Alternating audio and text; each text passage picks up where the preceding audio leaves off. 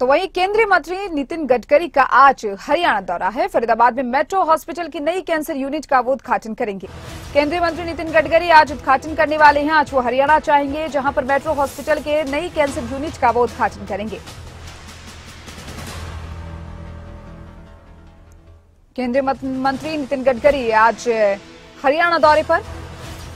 हरियाणा में आपको बता दें, मेट्रो हॉस्पिटल के नई कैंसर यूनिट का उद्घाटन करेंगे। फरीदाबाद में ये मेट्रो हॉस्पिटल स्थित है और यहाँ जाएँगे।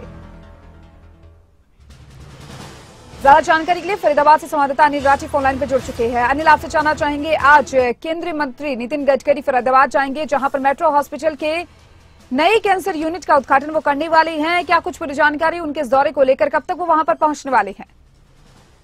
केंद्रीय मंत्री जो है वो नितिन गडकरी आज यहाँ पे फरीदाबाद उनका आगमन होगा और जिस तरीके से जो शुरुआती जो सूचना आ रही है वो बताया जा रहा है कि मेट्रो से जो है वो नितिन गडकरी यहाँ पे फरीदाबाद पहुँचेंगे और जो फरीदाबाद के अंदर ही मेट्रो हार्ट इंस्टीट्यूट है, उनकी एक यूनिट है, कैंसर यूनिट उसका जो है वो आज विधिवत तरीके से जो है वो उसको उद्घाटन करेंगे और उसके बावजूद सुचारू रूप से फरीदाबाद के लोगों को जो है वो एक नई सौगात मिलेगी। देखिए, साथ ही साथ बता दें, तमाम जो मंत्रीगण है फरीदाबाद के, चाहे कैबिनेट मंत्री की बात कर जाए चाहे एमपी की बात कर जाए सभी लोग जो है वो साथ ही साथ इनके मौजूद रहेंगे और कहीं ना कहीं काफ़ी बड़ा एक प्रोग्राम है। शाम को लगभग छह बजे के आसपास जिस तरीके से जो समय निर्धारित किया गया कि शाम को छह बजे जो है वो नितिन गडकरी यहाँ पे पहुँचेंगे और विधिवत तरीके जो है वो इसका जो है वो उद्घाटन करेंगे जी। जी अनिल, साथ ही साथ जाना चाहेंगे कि केंद्रीय मंत्री नितिन गडकरी का आज दौरा है, उनके दौरे को लेकर क्या कुछ तैयारियाँ वहाँ पर कर ली गई है?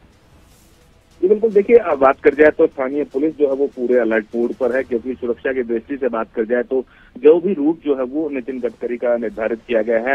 यदि वो मेट्रो से ही आते हैं तो मेट्रो के जो आसपास जो है वो सुरक्षा घेरा जो है वो बना लिया गया और साथ ही साथ तैयारियों की बात कर जाए तो हॉस्पिटल प्रशासन की तरफ़ से जो है वो पूरे तरीके से जो है वो अस्पताल प्रशासन को जो है वो सजाया गया है और अस्पताल के प्रांगण को जो है वो पूरे तरीके से डेकोरेट किया गया है। क्योंकि साथ साथ देखिए केंद्रीय मंत्री नितिन गडकरी आ रहे हैं तो स्वाभाविक है कि पूरे जो स्थानीय कार्यकर्ता हैं उन लोगों की तरफ़ से भी जो है वो काफ़ी उत्साह जो है वो यहाँ पे दिखाई दे रहा है क्योंकि शीर्ष नेतृत्व से जो है वो जुड़े हुए हैं वो आ रहे हैं। तो इसी को लेकर के खासी तैयारियाँ जो है वो यहाँ पे की गई है। कई तरह के पकवानों की जो है वो बात कर जाए तो क्योंकि नई यूनिट बहुत बहुत शुक्रिया आपका तमाम जानकारी को साझा करने के लिए।